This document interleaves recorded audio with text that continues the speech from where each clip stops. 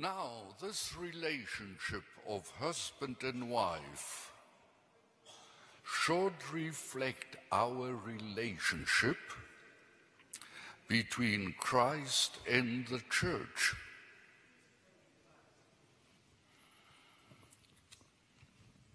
The man should be a picture of Christ to the world and to us. And the wife should be a picture of the church.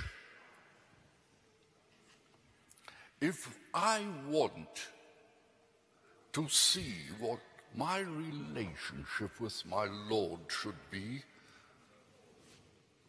I can look at you women, how you live with your husbands, and that's how my relationship be with the Lord Jesus Christ. Now just imagine the tragedy if a woman and a married wife doesn't live like that. It's a curse. Such a thing must be damned forever. Every married woman, her relationship to her husband should be a sermon to me that I know how I have got to behave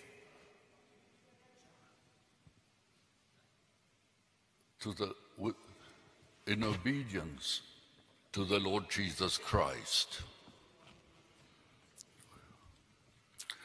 Charles Studd of the Belgian Congo at that time said when his co workers were not married, they were on fire, they were aflame, they were sharp for God. But when they got married, they became blunt. What a terrible thing to hear. That a person is a flame to God, burning for God.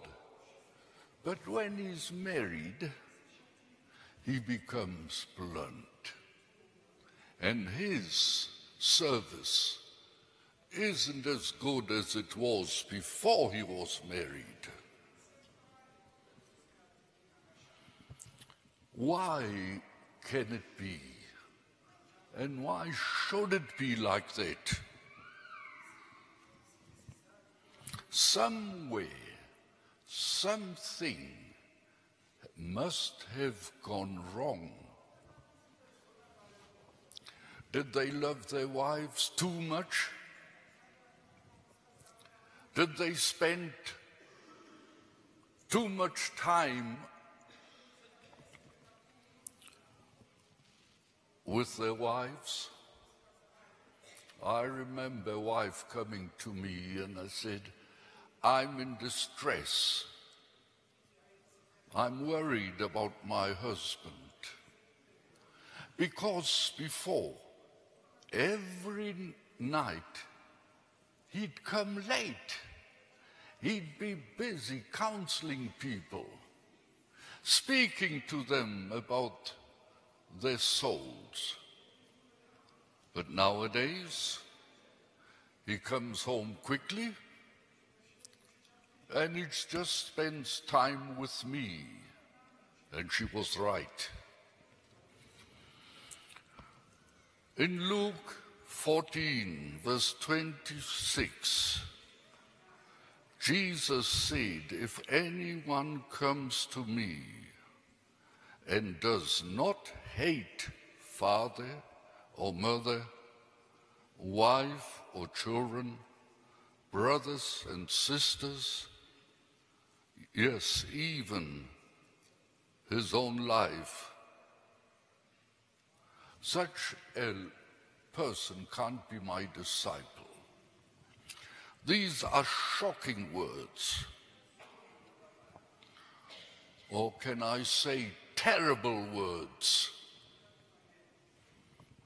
One wouldn't expect such words coming out of the mouth of the Lord Jesus Christ, saying, If anyone comes to me and does not hate father and mother. I took the New Testament word and read, and I said, the translators are right. They are right in saying, if you don't hate your wife, even your brother, your sister, including your own life. I usually say, if you love the Lord Jesus more than you love your wife, well, I think that is included in this hate. You listen to your father and your mother, your brother, your sister, or your wife, more than him, you are not his disciple.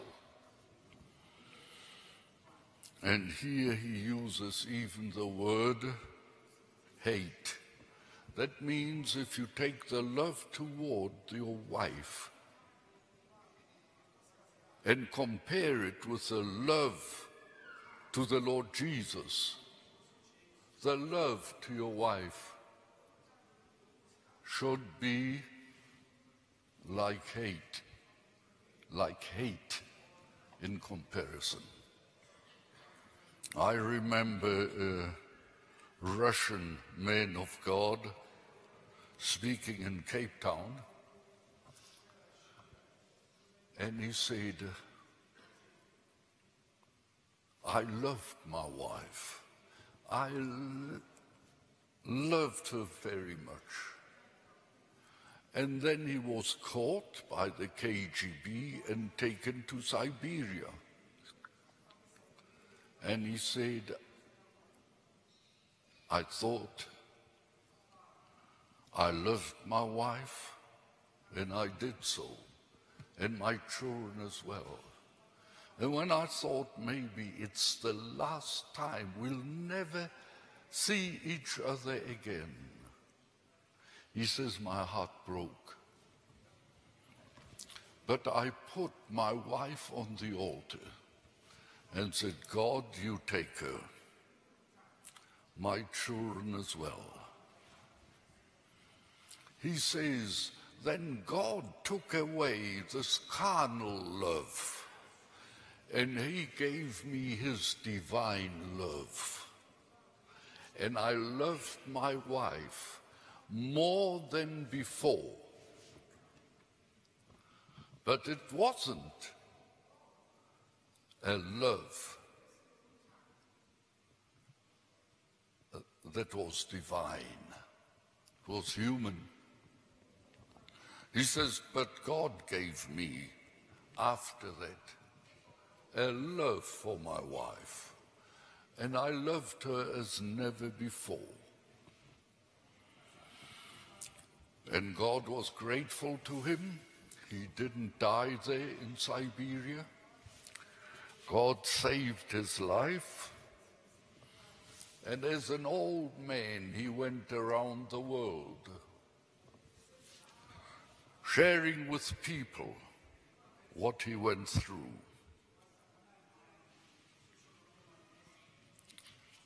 After that experience. Now, God has a plan and has got a way for every man how he should live. A man need only to take Ephesians 5:32. It's so clear and so plain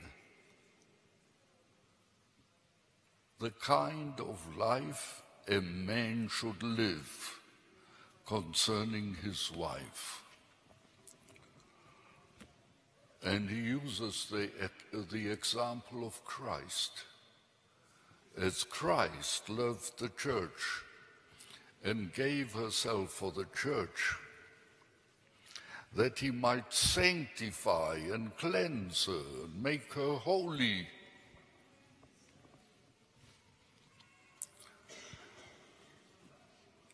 We've got many examples of men in the Bible.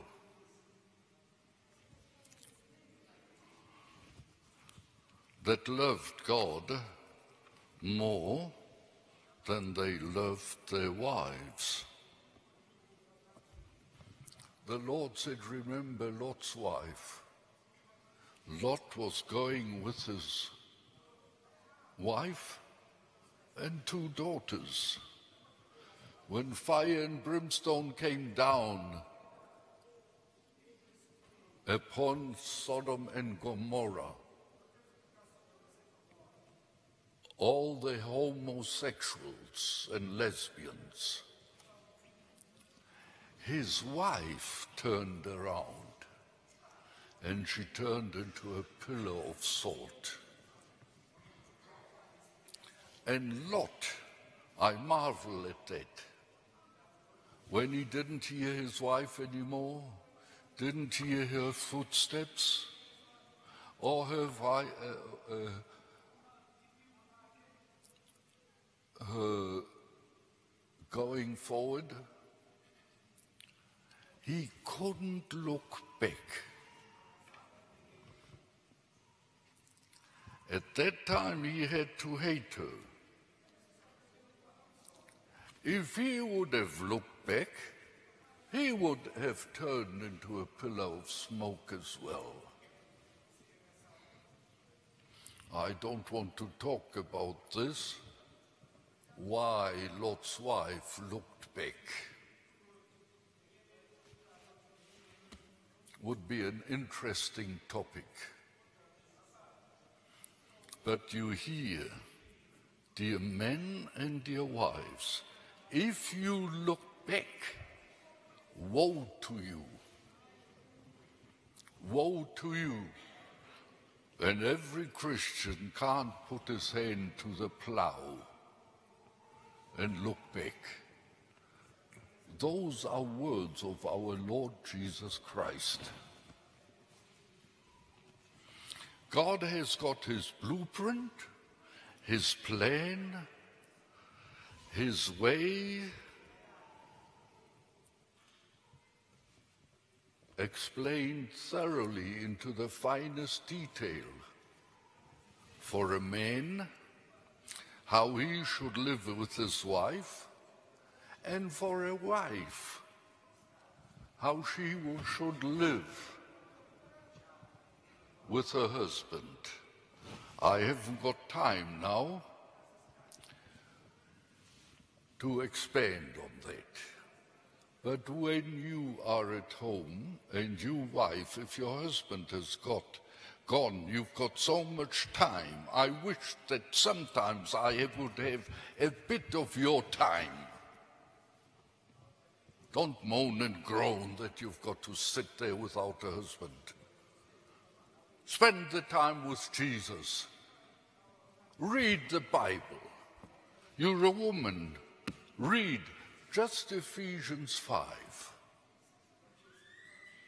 What a woman should be like and you men, what a man should be like. And then you stop and ponder for a while, as the Bible teaches us. Selah. You read and stop, think about that, ponder over that. And then you ask yourself, do I live as the Bible says? Is my married life, I as a woman and I as a man, as the Bible says. It says, Wives, submit to your husbands as to the Lord. As to the Lord. Are you, sisters, doing that? If you don't live like that, you are failing and you are in grave danger. You won't be a blessing to your family or to your husband, you'll be a curse. And you husbands, for the husband is the head of the wife, as Christ is the head of the church, his body, of which he is the Savior. You, husband, have got to be the so called Savior for your wife. When you see she's going wrong and doing the wrong thing, to be a man doesn't just mean that you say yes, yes, yes to your wife. Do what you like. You've got to be like the Lord Jesus, the way He he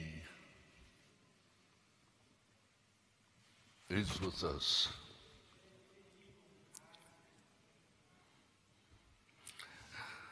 And he said, Christ and the church.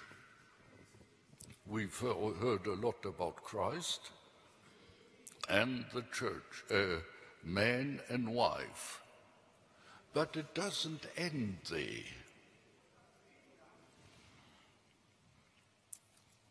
I said, what is the what was it that Charles Studd said his young workers, co-workers, when they were unmarried, they were sharp. But when they got married, they became blunt.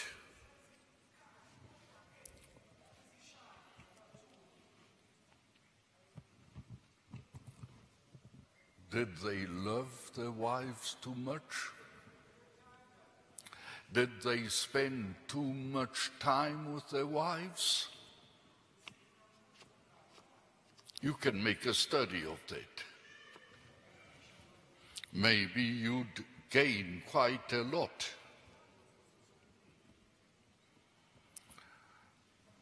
If the relationship is not as God requires it to be, we won't be a blessing to our partner. She'll be nothing more than an idol, than a, than a God to you.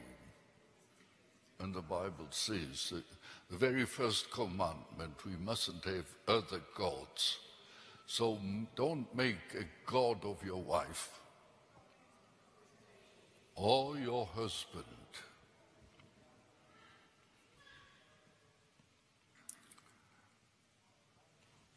Christ has got to be the first in our lives. Christ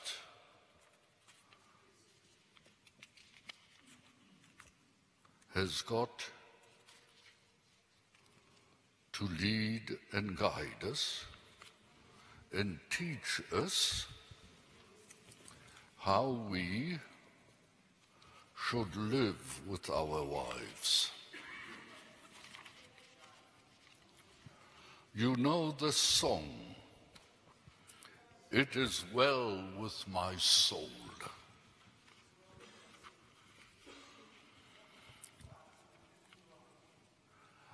I would just like to tell you a bit about the background of this hymn. It was written after a traumatic event in Spafford's life. The first was the 1871 Great Chicago Fire, which ruined him financially He had been a successful lawyer and had invested significantly in property in the area of Chicago. And that was all extensively damaged by the Great Fire. His business interests were further hit by the economic downturn by the Great Fire, the downturn of 1873, at which time he had planned to travel to Europe with his family on a ship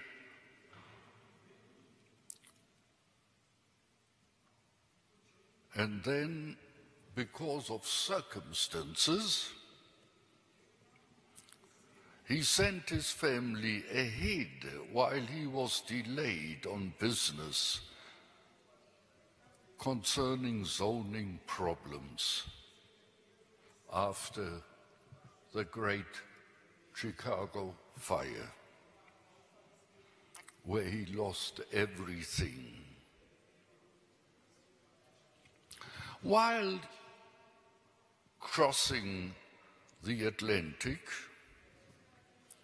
that is his wife and four children, four girls.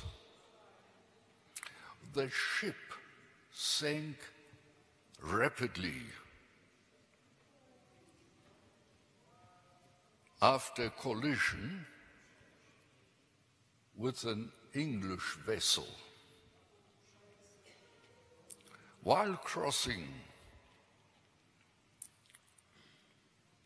the Atlantic, the ship sank rapidly after collision with the sea vessel, and all four of Spafford's daughters died.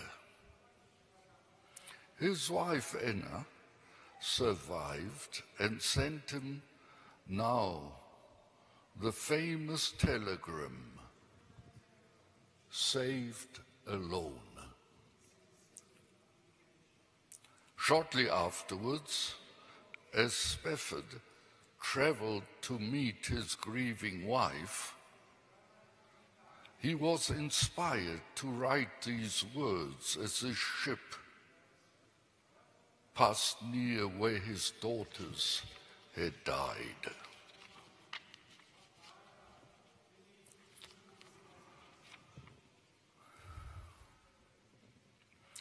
The Spaffords later had three more children. On February 11, 1880, their son died at the age of four. The Presbyterian Church regarded their tragedy as divine punishment it's not always easy to be a Christian and go through with the Lord. Here, a whole church turned against them and says, This, what happened in your life, is divine punishment. But that didn't break them. They found and started a new uh, Uh, church that was called the Overcomers by the American press.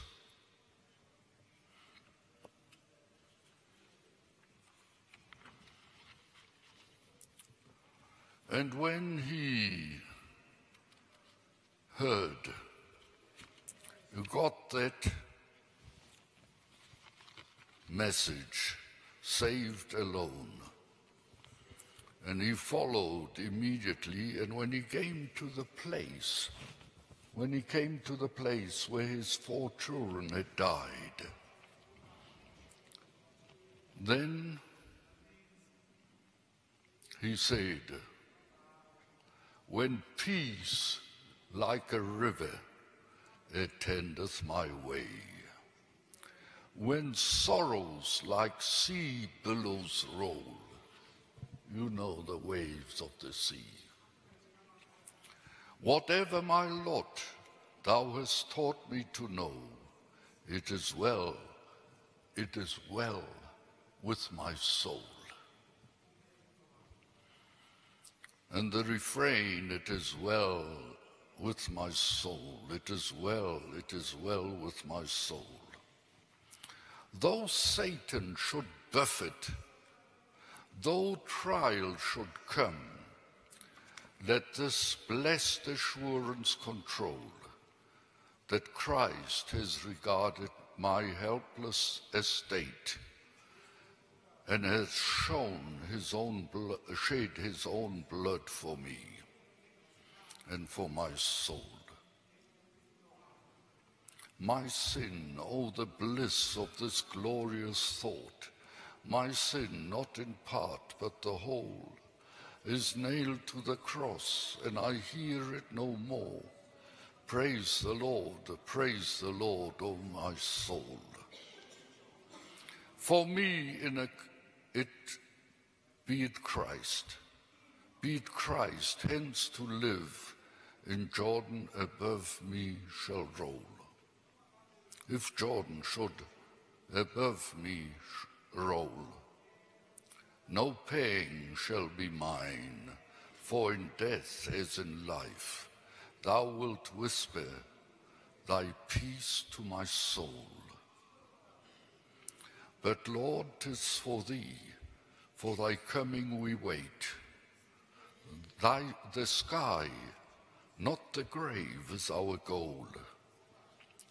O trump of the angel, voice of the Lord, blessed hope, blessed rest in my soul. And Lord, haste the day when my faith shall be sight. The clouds be rolled back as a scroll. The trump shall resound, and the Lord shall descend.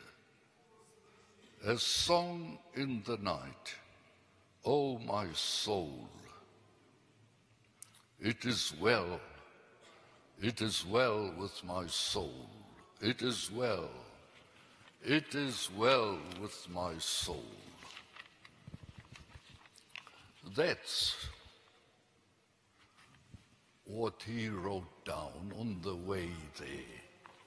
And when he got to the place with his where his children died, he wrote down this hymn, It is well with my soul. The Christians couldn't understand it. They said, There's something wrong with you. This is punishment. They said that like Job's three friends. But in all the churches, in all the hymns, there is still that song sung today and written this very time. What happened to the others that found fault with him and it said it's judgment? They just vanished.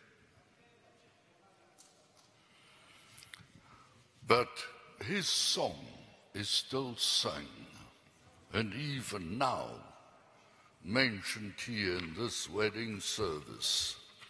It is well with my soul when God had taken his children and just left his wife.